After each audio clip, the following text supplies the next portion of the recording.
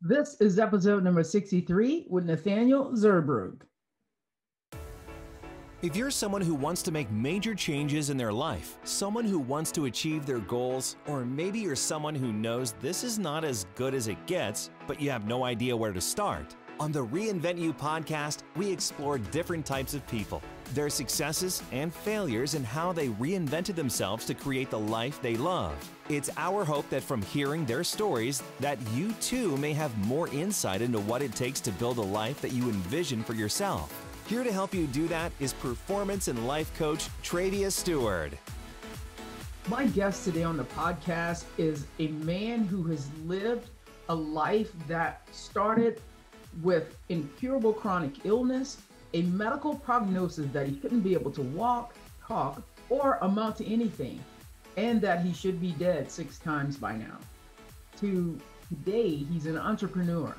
He's an award winning global inspirational speaker and a victorious mindset mentor. And on the podcast today, we discuss how he developed his victorious mindset, how he helps his clients live an unlimited life and the, and the importance of never ever giving up despite the odds. You're in for a treat. You are in for some inspiration and motivation, and this guy has it all. Woman, welcome to the to the Reinvent You podcast. My guest, Nathanael Zurbruegg. My man, he's a, he's in Switzerland, and I'm so excited to have this conversation. So I just want to take a moment and say, welcome, Nathanael. Hey, welcome. Welcome. Thank you so much. Uh, thank you, everybody, for listening and you, Travia, for hosting. I'm so excited to be here and um, yeah, to just pack up the day today in Switzerland with an amazing podcast. Yes, yes. I love to podcast. And and you know, guys, like we are recording this. It's 10 a.m. for me, but it's 7 p.m. for Nathanael. So but you know the possibility that that zoom allows us to have is just incredible so i'm glad and i'm so thankful and so grateful to be able to connect with nathanael who's all the way in switzerland so guys i was so enthralled by Nathanael's story of overcoming every single thing that he's gone through. And so many of us go, Oh, my fingernail broke today. So now I can't do the thing that I got up to do. I can't work on my business. Oh, I don't really have the energy. How am I going to build a business? How am I going to do this thing?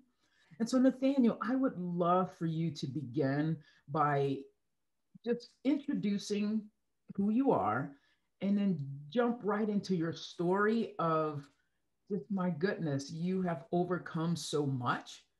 And I know it's going to be so motivational. It's already for me, and I know it's going to be so motivational for my listener. So, if you could just start with who you are and a bit of your story, I would love that. Yeah, absolutely. I'm, I'm pleased to do that. So yeah, I'm Nathanael, as you heard already, uh, I'm living in Switzerland. I'm grew up in Switzerland. I was born in Switzerland, but I haven't been always uh, here in Switzerland because um, I realized early on with all my difficulties that uh, it's quite a small country, you know. I, I need big stuff. I need, I need, uh, I need a big horizon. so I moved to Australia. That was back in uh, 2012 for four and a half years, and uh, so I'm back here since 2017. Um, it was a bit unexpectedly, but um, sometimes life just, you know, goes the way it goes, and uh, yeah but um, yeah, it's interesting. As you said in the beginning, my, my story is uh, amazing, incredible, and inspirational. Um, I often feel not myself that I'm that I lived in that too because it sounds different to who I am today and what I do today than who I was and what I did in the past. And uh, it's it's sometimes, to be honest, even uh, difficult to relate for myself. Mm-hmm. For, for all the good things that happened, um, especially in the last 15 years. And uh, I'm going to share you a little bit about the previous first 15 years of my life. Um, I was uh, diagnosed with a complicated chronic illness with one year old, which affected my own kidneys. Um, my kidneys had to be removed. I had to start doing a, you know, um, dialysis treatment, which everybody has to do as soon as the kidney isn't working anymore as it should. And so, but it wasn't you know it was a hard time but but probably the hardest time was when um, i was about three years old and then there was the time when i had a stroke all of a sudden i was losing literally my mind um, i was at home uh, my parents weren't at home. Um, my my brother realized something was going on here with me, and called my mom and they brought me to the hospital directly into the ICU. I was felt into the coma for the next two weeks. Wow. And the interesting thing was that at the end of those two weeks, my doctors called my parents and told them, hey, look, um, there's nothing else we can do. The, my, my brain has been a gray patch. It basically was was literally it was dead by that time. And so my parents come into ICU in expectancy basically to to farewell my life. And as I said in the beginning, life goes sometimes the way it goes. And the doctors turned off the machines, all the life supporting machines uh, because there was there was no reason to continue, and then all of a sudden, the moment they turned off the machine, I started to talk again. Out of the blue, out of the of the blue, and nobody was expecting that. Uh, it was like, it was the biggest miracle um, that especially, yeah, I heard or experienced in my life and um, so it continued like that um, for a little while. I, I, recovered. I had to recover. I was, I was coming back, uh, fall back, fell back into the coma, come back, and it took me about a couple months to recover. And things went on with, um, you know, dialysis treatment. Mm-hmm. And I'm gonna make a jump a little bit. I had about um, three kidney transplant with five, seven, and 11 years old. And for me, what that means um, is that I never experienced a life before that like everybody else did, or most of the children did in that time, mm-hmm. because I had all the sudden a kidney and I realized that I can do anything. I can eat everything. I don't have to go to the hospital three times a week for dialysis treatment. And that was amazing, flourishing dream time. And um, so this happened three times. And I want to jump to one of the second kidney transplant that I had with seven years old up to nine year old. And it was um, crazy because after two and a half years of living the dream, of flourishing, of, of understanding that there's a different life, all of a sudden my kidney got destroyed again and I had to readapt to my old life of getting into different eating habits, getting into different schedules to go back to dialysis treatment. And it was so depressional for me. I remember the time I come home after removing the kidney, realizing, okay, there's, you know, I just lost my best friend. That was my uh, mentor. And uh, so there was a time I was depressional for two weeks. I remember the time I was on the couch in my parents' living room. I didn't eat anything for two weeks. I didn't talk anything. Um, and I just almost didn't move. Just was lying there on the couch and and you know what what it does with a nine-year-old boy um, who Mm-hmm. isn't yet that much, uh, you know, hasn't had that much growth in, in his brain and all that, you you realize that well, everything is against me. Why does that happen to me? Why why would I want to be still alive? And there was a time actually when all the negative talks had such a power that I had nothing else in my mind to take my own life. And I was so blessed with my parents. They realized that, you know, there's something not well going on.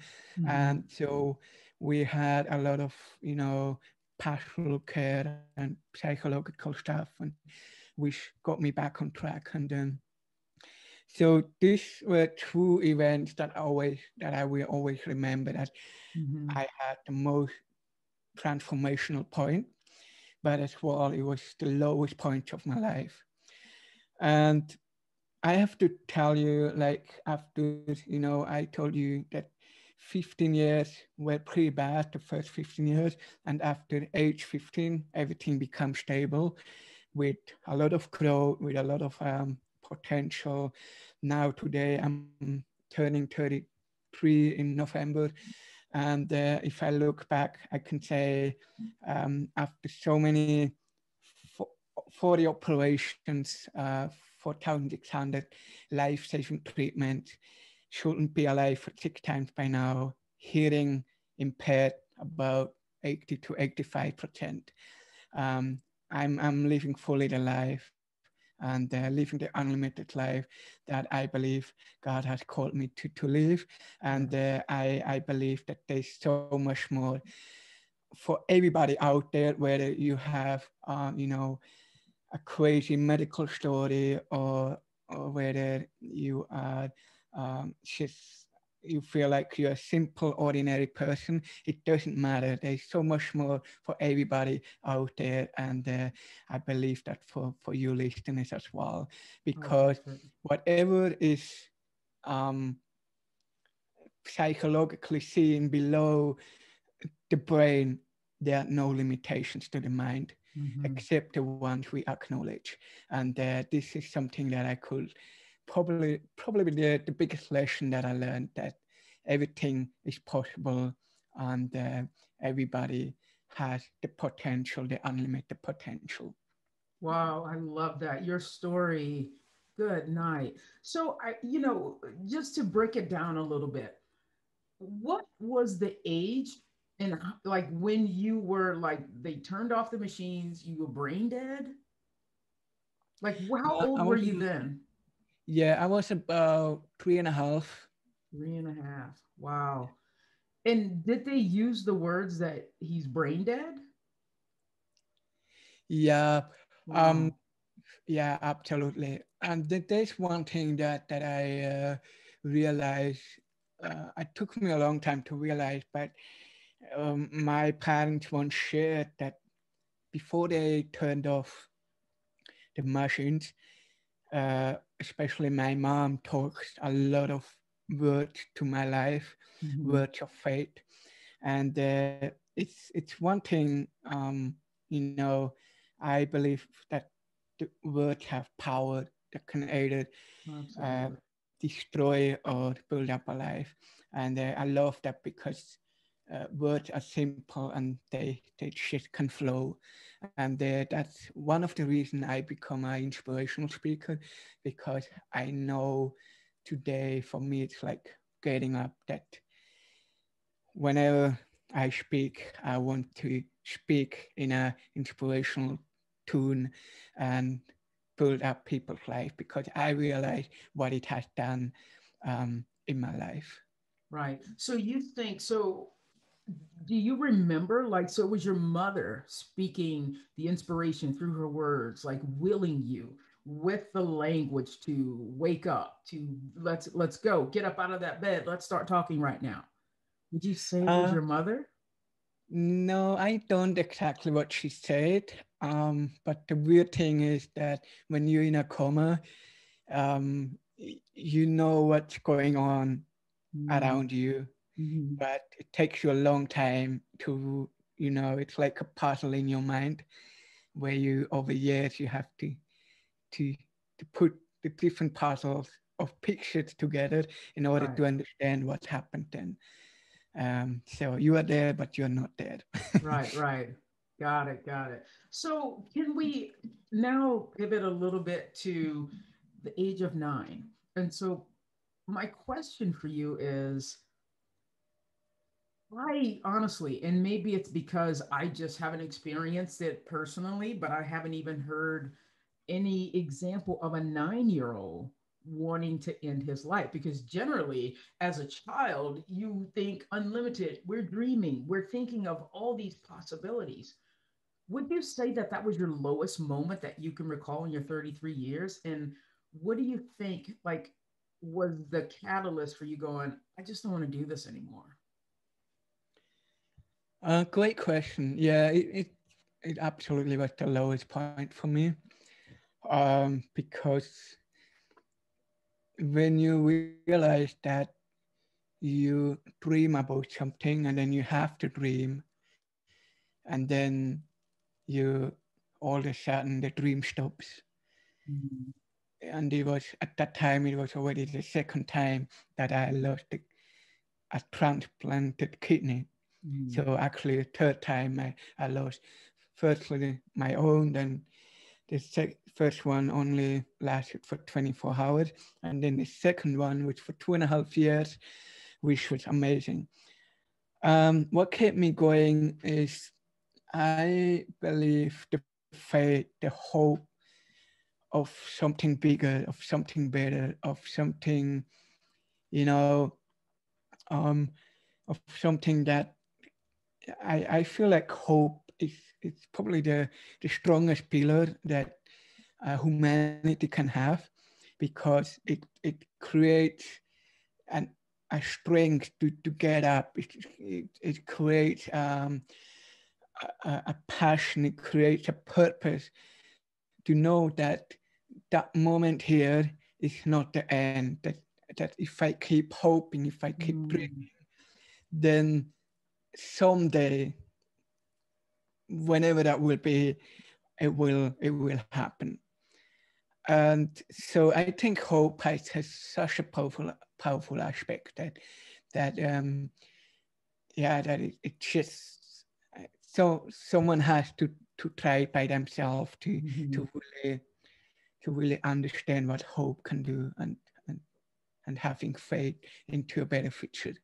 Yeah, it's just the op the optimism of that. I believe that you know, for all of my life, I've been a person who saw the glass half full rather than half empty.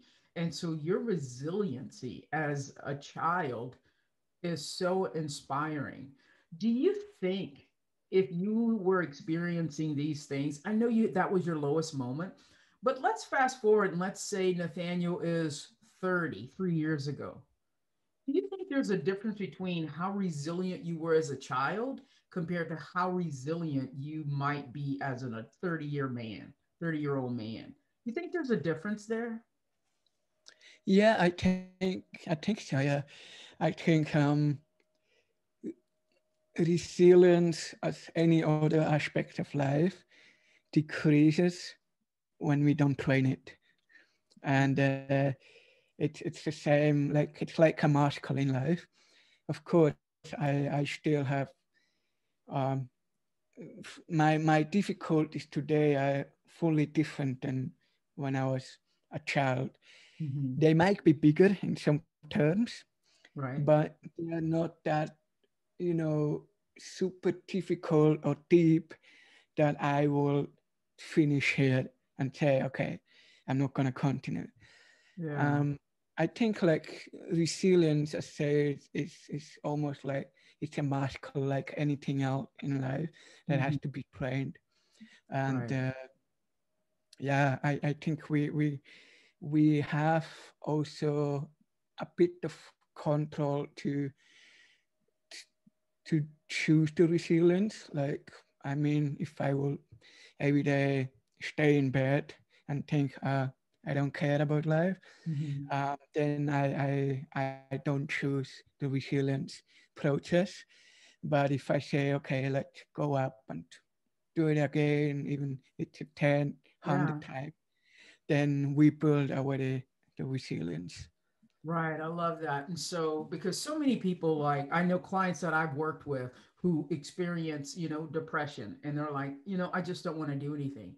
And I know that putting yourself, like you're saying, like you are a testimony to this is what needs to happen. It's like, don't just, and I know this is easier said than done, but it's like if you keep yourself in action, getting up and doing things, going through your day, doing things so that, you know, getting you into motion helps create that muscle that you're talking about of resiliency, would you say? Yeah. Yeah, I like that. Absolutely. And I think we when we uh you know when we have a flashback or anything that that throws us down, then we we expect from ourselves that we want to to continue on the same level than we were falling from. Mm. But that's I think that's not quite the right attitude because um, if you have difficulties, let's say, um, and you, you you you have any difficulties and you you have difficulties to get up, um, I think the best thing is to do maybe weekly or something like that. Okay, the first week I'm gonna keep going up, Mm-hmm. and then it slowly comes back and then i can think about the next step what i going to do after getting up. You know what i mean? Right. then i can make something else. And so i think we always want to to go it's it's it's just life. I mean it, it's the same with with the blood flow. It's the same with with stock market. If it crashes you can't straight um start or be at the same as, as Mhm. it, it has time to to go back on the on where it was falling from and then from there it gets even much stronger Right. So would you say that like if you were going to say what are the keys to creating resiliency? Is it one step at a time? Is it not trying to will yourself to perform from that same level before you fell, but sort of adjusting and pivoting at the level in which you are now and still continuing to take action? yeah Yeah, absolutely and i think it's it's a, it's a great thing to do to sometimes you have to go back to where we have coming from to realize that well maybe before when we were on the top or whatever maybe we haven't enjoyed it as much as we should have Yeah. because we always wanted more or maybe we weren't that grateful or maybe we weren't that satisfied um, when we were on the top than when we on, were on the bottom and uh, it's just it's just um, yeah i think it, it, it repeats all the time in life that Right. we we go up and then we fall down we go up a little bit higher than before fall Right. down a little bit deeper and uh, it's just part of life to to cope with that Mm, that's good. So I know, so right now, I know that you are hopeful, you're optimistic, you are a very positive thinker. But I know something that's paramount and, and a foundation of the work you do with your clients is creating a victorious mindset. Because I feel like there's a difference between just being hopeful and optimistic. You call it a victorious mindset. What are the differences between just being optimistic and positive and being victorious? And how have you created the victorious mindset? i like that question powerful uh, great well the difference is to be active and not passive Mm, you know you can have a dream you can hope on things um, but there's no you know there's no different when you lie in bed in the morning and you're hoping about things but and you never get up but if you have you know what i mean It- it- Yeah, yeah. Well, maybe, yeah, maybe a person will realize sometimes and will get you straight, but mm-hmm. we never know. uh, but anyway, I think it it lies in the in in being active, and by active I mean not in a way you know to strive or to to be somebody else than you should be. Mm-hmm. It's just being active to um, to be and do who you are in the moment and what you can do in the moment. Like as I said before, if you if you get out of the bed and then the next step, that's your journey to get to the break breakfast table. Somebody else might be already, you know, going out of the house, right. but it's not for you to to control or to to care about. Mm-hmm. Um, so the days are different. And uh, I love the victorious mindset because it, I said previously, um, the, the, the, mind is such a powerful tool of us. Oh um, I do, however not, however, not believe that it only depends on us. Um, I believe that also that there's a God, a higher power, whatever you want to call it, that mm-hmm. that gives us certain injections, certain leading point where we can go to and mm-hmm. what we can do. And uh, I think so. But the victorious mindset in all that is about, you know, really um, having an set, setting the mindset or the perspective, focusing on being a victor and not a victim in your life. Ooh, being a victor and not a victim in your life. That's powerful.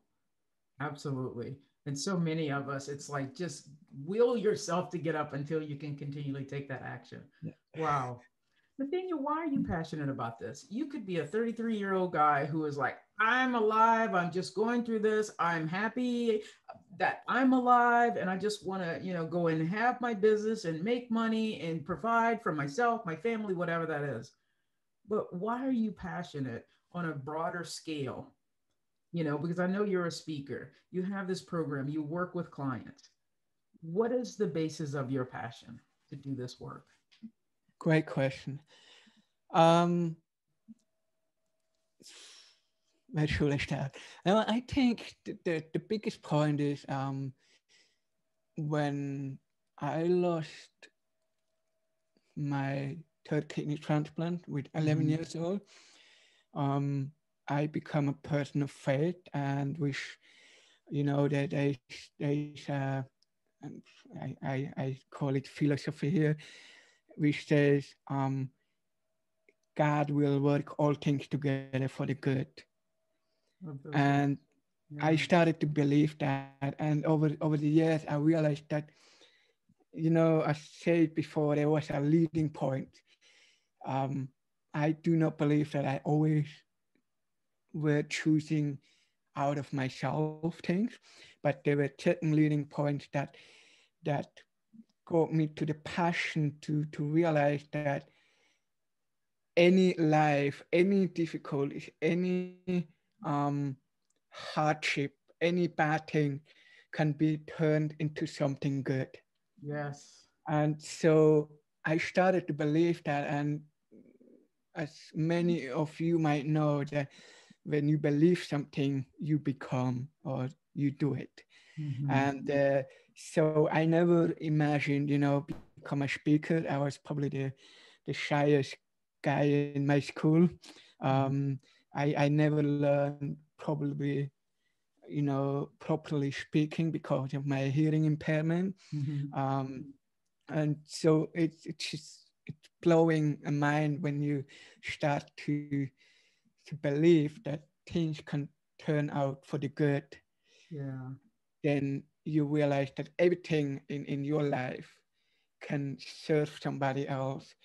Mm-hmm. can, i can take uh, the bad things and make live a life that turns it into something good. And uh, so it wasn't you know the passion wasn't yeah it should come along step by step mm-hmm. it was never something that i decided from one day to another, I'm gonna do that. It's just come and come and adapted to talked about what else can I take from my life that looks negative or bad and turning into something good and mm-hmm. then help others to to get into that as well. Right. I'm a firm believer in that. I, you know, I relate to every single thing that you're saying. Do you, are you a guy who, you know, because I know the mind has to believe it, you know, it's the optimism. Are you a guy who practices visualization? It's like you see yourself doing it, you see yourself on stage, you know, speaking, you see yourself. How important is visualization with your work? One of hundred tier of 299 Got it. No, I think, I think, um, yeah, I, I do it, and uh, my my wardrobe is full of pictures uh-huh. uh, of future dreams. oh, yes, and, uh, I had uh, pictures in the past that happened uh, exactly the way I imagined. Mm-hmm. Um, I do fully believe that. However, I learned that I do not, you know, fully depend on him anymore on myself that it happens. Okay. So I do, I do, I dream big, I visualize it, but then I know it's gonna happen one day. Um, I, I call it by God's help because He He's bigger, greater than than myself. Absolutely. Um, if I if he wouldn't be there or he if he wouldn't have decided to keep me alive, then I wouldn't be here. So um and it, it it released me from a lot of pressure you know when you when you visualize things and then you think like oh i have to finish that by this year by right. that it, it, it was stressing me out a lot of time in the last few months. Yeah. And so I started to you you know to say, hey, look, God, you know what I would like to do, and uh, but I know also that whatever I dream or imagine, you will do it even bigger because mm. um, I know you. Yeah. You are better than me, and um, absolutely bigger things than myself, and so yes. yeah. So it's like so you create the visualization you create the targets the goals you know all the outcomes that you want and you release attachment to it you give it to god. Yeah. Did i have that right? Yeah. Oh, exactly. oh that's so powerful because i also have felt that that pressure and it's like you know because i do a lot of visit, uh, visualization as well and i set these targets and i go oh my goodness, I got two days left to, you know, do this thing. And it's two days. How's it going to happen in two days, you know? And then, yeah, and I stress myself out over it. And then I also learned that looking for the things in different ways helps because it's like sometimes I was so specific with my visualization that I didn't recognize that God, the universe, was still giving these things to me because I didn't, I wasn't opening my eyes to see it happening in so many different ways. I was like, oh, well, that is it. Because it was, be, I was thinking of it so tangibly. It has to be this exact thing. But, you know, like, you know, like the example that I can think of is that, like, you know, I set a goal to bring in a certain amount of money. Well, specifically, I was like, oh, that has to be just with my my coaching my clients. But I was like, no, I just God helped to bring in more money. And I, mm. you know, it took me a while to go, oh, it can come in so many different forms, right? Yeah. Oh my yeah, goodness. Yeah. Have have you experienced that where you were asking for something very specific and it's like, oh, I had that thing last week and I didn't even see it. Yeah. Yeah, absolutely. Um it's as you said, I I, I think like if we are so specific, we don't uh, expect the supernatural things. Yes. And um, so for me right now, it's like, as you said as well, the, the best opportunities in my life were the ones where I step back from everything and let it come to me. And I tell you, I'm, I'm right now, I'm learning that again because I'm, I'm uh, I get crazy about at the moment about all the marketing stuff that's going on. Yeah. And uh, I'm I'm the least you wanna. I want you know I'm the least person in this world that wants to anything do with marketing. and then I was like thinking, beginning of the year, what what's the purpose of it? I mean, you know, why not just stepping back and believing for Yeah. supernatural uh, opportunities because they don't cost anything. Right. and people, if I, I also realizing always more when you grow, when you focusing on growing and you know being being authentic, being relaxed, being on rest, then you you you are in this world a big magnet to the people because people are looking always for for that uh how do you say that for that specific resting place Mhm. but still of having a fulfilled life Right.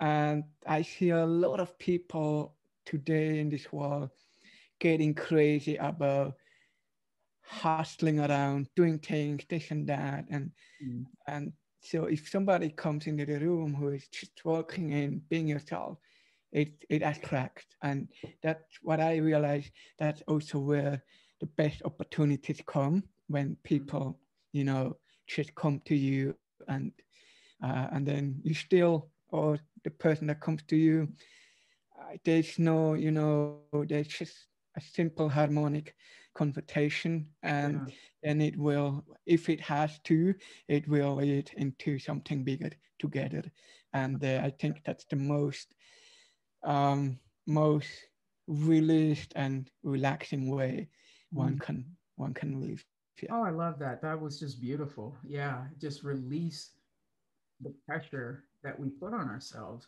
Yeah. So I know, Nathanael, that you have an ebook. It's a four step, right, to unlimit your life. Can you don't just give the whole ebook right now, but what is a nugget that you can give my listeners to, like maybe one of the steps to unlimiting your life? And then they're motivated to go and get the ebook because it's free, right?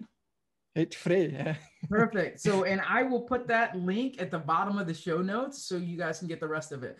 But how about maybe just the first step that you that that is that gold nugget inside that ebook? yeah i like that so the first step is nothing else than asking yourself the question who i am Ooh, okay. Simple, okay. Okay. difficult question Who am I? I like that. And so when you ask yourself that question, and so that's a lot of the work that that you know that I do with my clients because you have to know where you are right, right now. And so for me, that is like taking responsibility. Who am I? How how have I created the results that I have in my life today? How do you expand and expound on the who am I in your ebook? uh, the, the, yeah, I will be a second step to go into what what am I here for? I Mm, think the more you know yourself, the more you know why why am I here? Like what what what in the world am I doing in this world? Yeah. and this is so such a crucial question that um, I'm gonna tell you it's it's two questions that will follow you the rest of your life. Mhm. Uh, they will never be a fixed answer there. There will always the answer will change or the answer will be need to be readapt depends on on how old you are or how old you get or Okay. what circumstances you're in. And uh, yeah, that's two two two steps Yeah. Okay. on my ebook. Yeah, yeah, I like that. And I know you go into a, a lot more detail. That is so good. So, you know, it's kind of like, who am I and what am I here to do? And I always think of, you know, I, you know, as a coach, you know, we turn the finger back around on ourselves and I question that myself. And I, and I think every now and then I reanalyze that because like you said, it can change because I feel like I'm evolving as a person, you know, and, and my mission is is evolving as well. Wow. So I know that this is part of your process of helping people flip the switch, right? From living a life by default to living a life by design.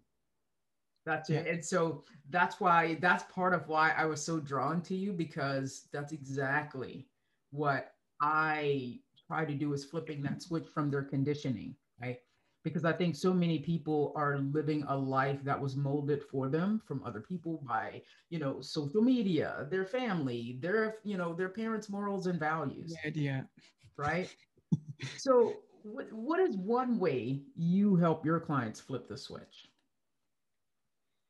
Great question. I I always try to to help them on on the journey to to get deeper into who, they are mm-hmm.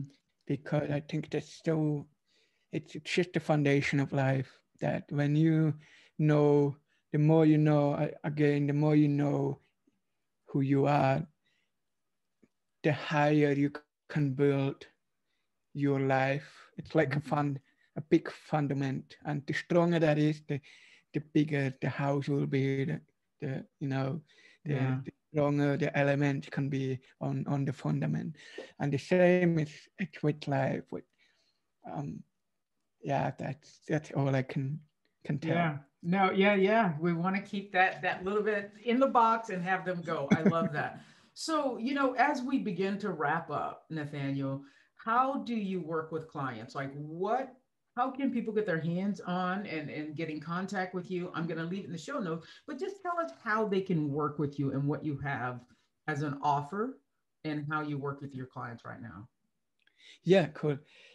So you can go on my website. That would be the be- best place to, to go. It's nathanaelzurbruegg.com. Um, so you have the opportunity to be there to to check out my lifestyle in detail.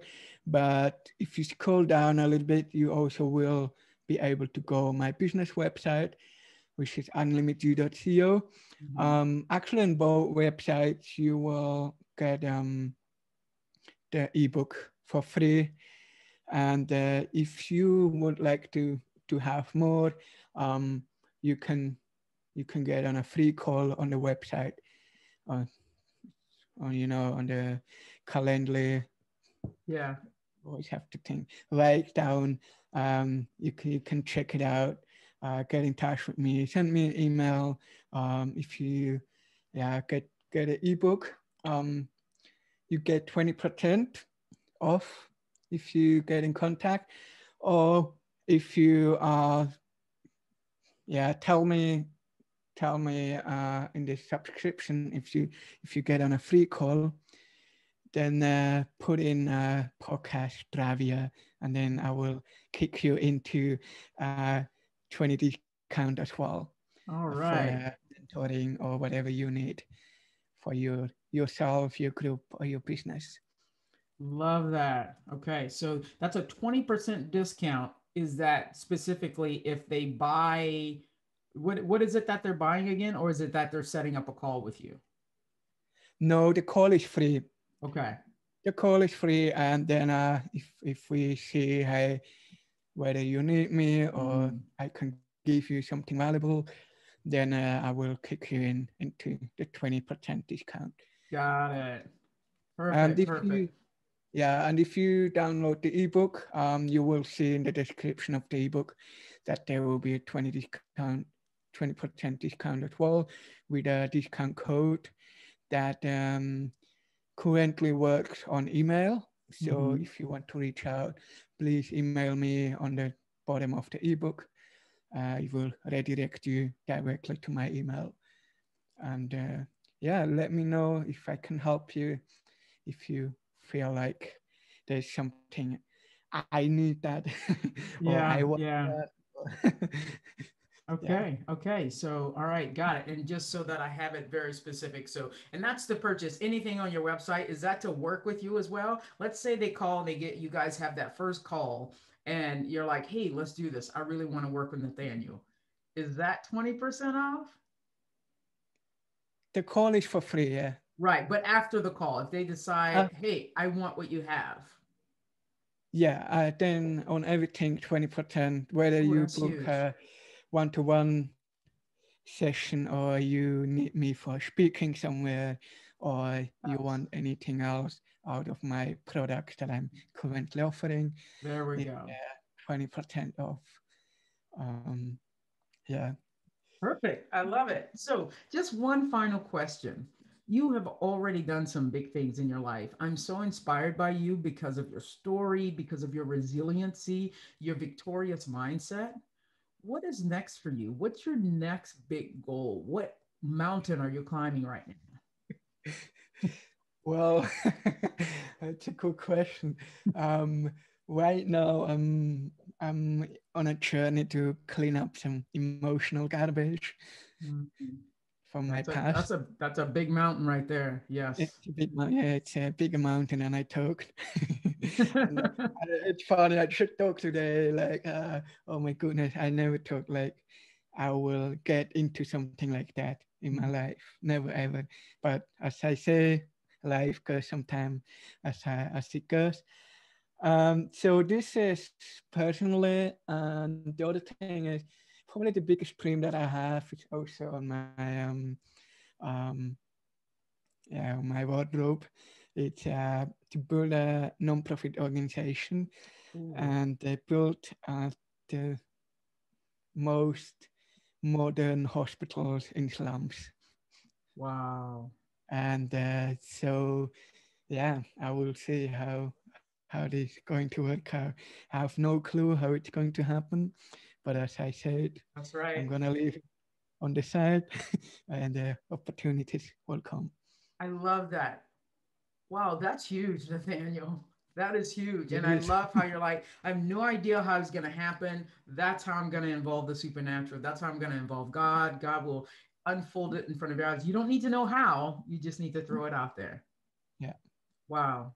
That's so powerful. Nathanael, this has been such a powerful conversation. And thank you so much for sharing your story, sharing your gifts with my listeners and with me as well. So I thank you for being a guest on my podcast today. Absolutely. You're welcome. And was a, it was a pleasure to, to be on this podcast. Such a fun time. If you like what you're hearing, and perhaps you're interested in having a complimentary conversation with me, Click the link at the bottom of the show notes.